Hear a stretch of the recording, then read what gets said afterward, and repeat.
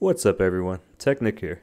So in today's video, I'll be teaching you how to install an SD2VITA in your PS TV or PS Vita. Thankfully, the process is a whole lot easier in 2023. So let's go ahead and get started with the video.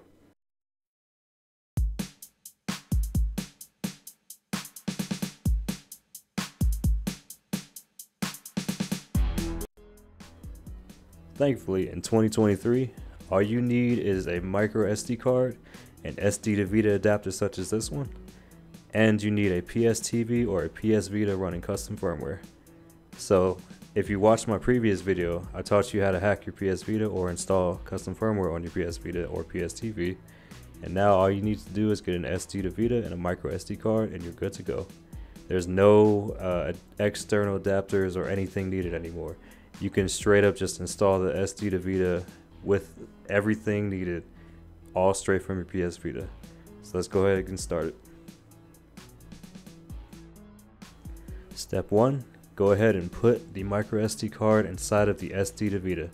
There is no formatting required from the computer because you will be doing that on the PS Vita itself. Next, you're going to put the SD2VITA inside of your device. Yep, that's it. Next, go ahead and boot up your device and we're going to be going into the app called Vita Deploy. And remember, don't go to the install, go to start. You don't want to install Vita Deploy again.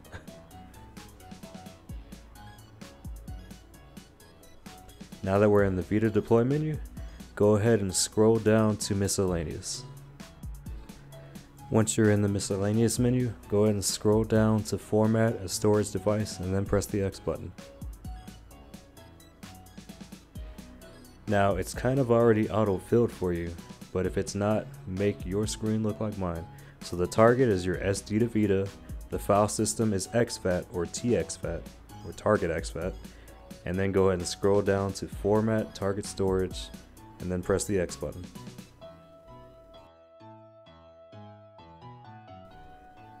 Now unfortunately, this is the tricky part. So when you press the X button, it should say a confirmation like formatted. If it says this, that means everything was done correctly. However, if it pops up with an error, it could be a myriad of things. So I will be leaving a troubleshooting guide in the description of this video, but in some very rare cases, this could be a bad micro SD card or a bad SD2VITA. And hopefully it's a bad SD2VITA because the SD2VITA is very cheap. A micro SD card is unfortunately not that cheap. So after this is done, we're going to move on to the next step. For the next step, go ahead and back all the way out to the main menu of Vita Deploy and you should see an option that says reboot.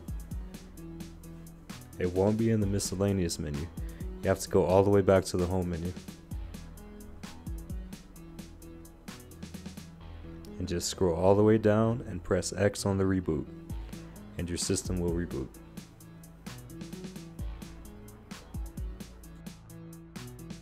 Once your device has been rebooted, we're going to be confirming something.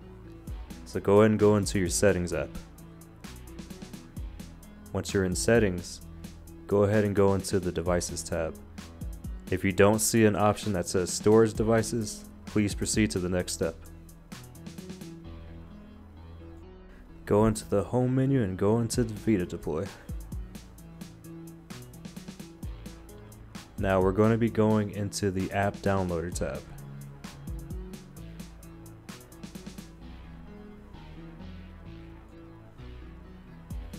Once you're in the app downloader tab, go ahead and scroll down until you see something that says YAMT installer. Check mark that and then go to download the selected apps and it'll download it for you. If you want to know what YAMT stands for, it stands for Yet Another Mount Tool. Once it's done downloading, go ahead and exit the Vita Deploy app and you're going to see YAMT installer on the home screen. Go ahead and go into the application. For this, you're going to be installing the light version and the light version only. Press X to install and your device is going to reboot.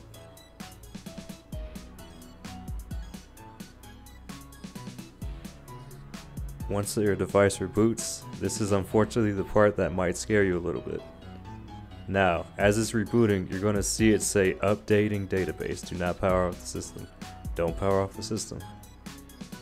And the scary part is, when you scroll down, you're going to notice that all of your custom firmware apps are gone. Don't be alarmed, this is normal. Go into your settings. And then go into devices.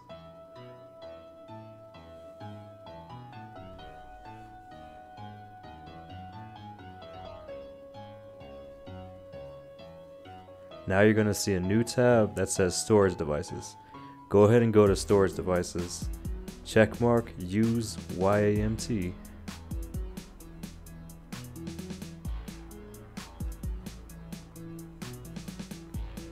For the UX0, leave it at default, and for the UMA0, press X on it and select SD2VITA.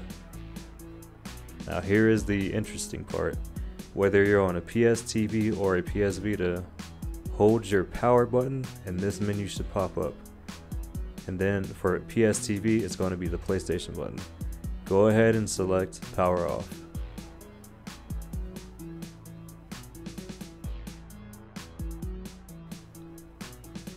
Now that your device rebooted, you're going to see the same menu popping up saying updating your database. This is a very good thing by the way. If you scroll down, you'll see that all your custom firmware apps are back.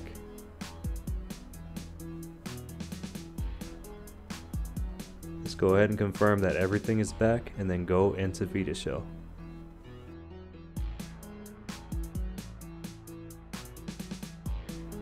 If you want to completely turn your SD2VITA into your main memory card and make it to where you, you can take out your regular PS Vita memory card, or if you were just using no memory card and you just kind of put, put custom firmware on it, this step is for you. Now you're going to notice a lot of directories, but the main ones you're going to focus on is the UX0 and the UMA0. Your UX0 is your current storage device. What we're going to be doing is basically copying everything from your UX0 into the UMA0. Your UMA0 is your SD2VITA. Scroll down and go into your UX0. Make sure that this is your UX02. Go ahead and scroll down to the first file and press the triangle button. Once you press the triangle button, press X on Mark All. This will select all of the files in the current directory. Once you press the X button on Mark All, you're going to see that everything is highlighted. Go ahead and press the triangle button once more. And don't press the triangle button all the way at the top. It always has to be on the first file. So press the triangle button and you'll see the correct menu pop up and then press copy. And it'll copy all of those files for you. Go ahead and press the X button to say OK and confirm. Now press the back button, whether it's the circle or X button for you, and then go into your UMA0. Now it doesn't matter where you are in this directory, just go ahead and press the triangle button and you're going to see the option that says paste. Go ahead and press the X button to paste and depending on how many files you've had on your storage device is going to, it determines how long this is actually going to take for you. But go ahead and press the paste button and it'll go ahead and copy everything into your UMA0.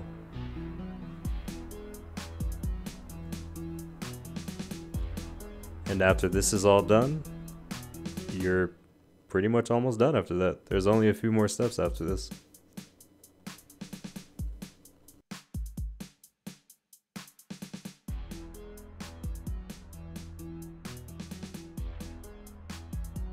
As you can see, all of your files from your UX0 has been successfully copied to your UMA0. Now, at this point in time, you're free to exit back right into your home menu.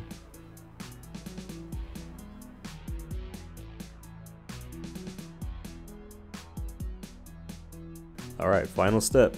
Go ahead and go into your settings once more.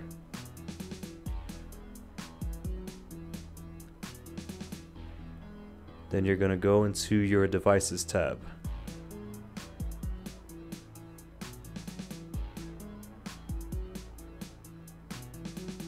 Now go ahead and go into the storage devices tab. Now if you want to set your SD2VITA as your main memory card, go ahead and press X on UX0 and set that to SD2VITA. And after you do this, on the UMA0 tab, set that one to memory card. After this, go ahead and hold your power button or the PlayStation button, and that special menu pop up. Go ahead and power off your device.